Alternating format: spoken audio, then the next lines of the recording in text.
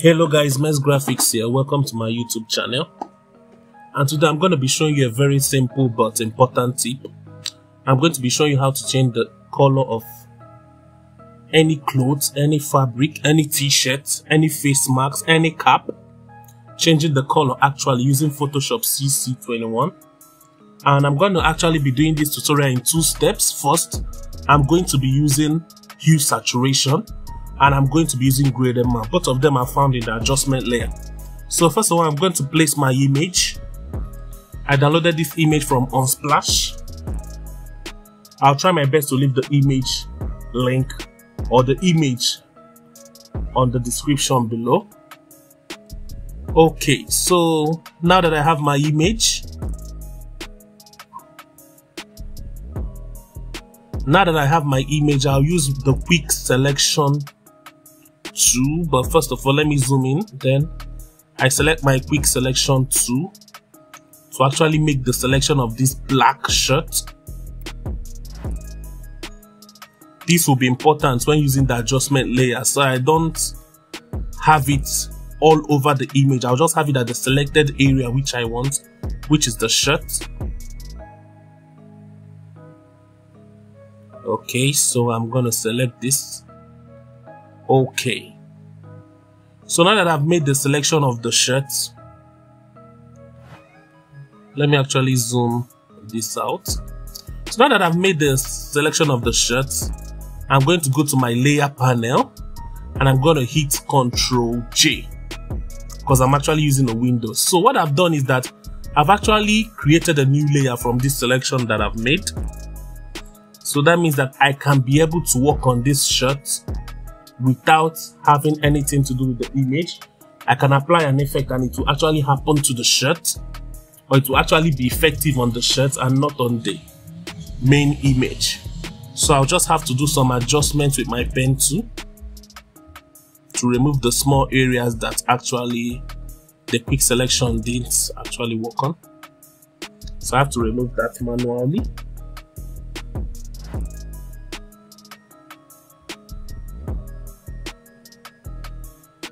Okay.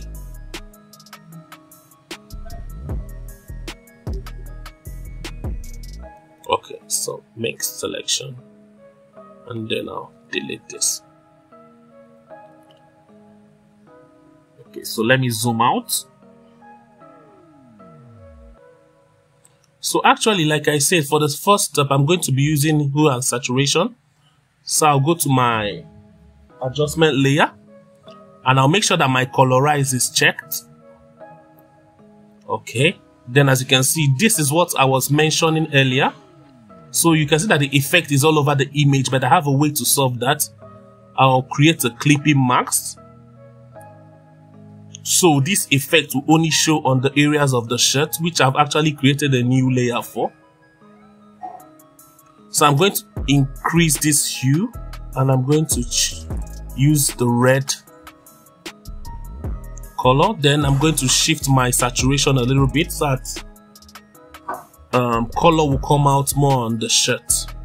Then I'm going to actually work on my brightness because this image is looking dark.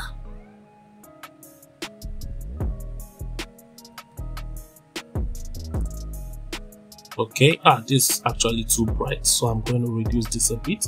So you can actually change the colors by moving this hue slider. You can change it to blue. You can change it to green. Any color you actually want. Okay, so that's all for the first step. That's all for hue and saturation. For the second step, I'm going to be using the gradient map. That both of them are found in the adjustment layer. Okay. Oh, oh, that's a mistake. So I'm gonna actually state state the mistake that I made, and I'm actually going to show you how you are going to resolve this. So whenever you're actually working with gradient map, you have to make sure that your foreground color is set to black and your background color is set to white. So I'm going to try this again and you're going to see that it's actually going to come out nice than before. okay? So now that we have that out of the way so I'll go to my gradient maps. And actually I'll click on this. So this um point right here is called the stop so what I'm going to do is that I'm actually going to come to the middle of these two stops and I'll add a new stop by clicking on it. So as you can see this image is now black because of the color at the stop is actually black. So what I'm going to do is I'm going to go back and I'm going to make sure that um, I selected the the adjustment layer not the layer mask. So once I click on this I'll change the color to red right now okay. Okay as you can see this is looking nice already. We've actually been able to achieve changing this image. So once I move this slider towards the white area you notice that the image becomes darker. Why once I move it toward the dark area the image becomes brighter.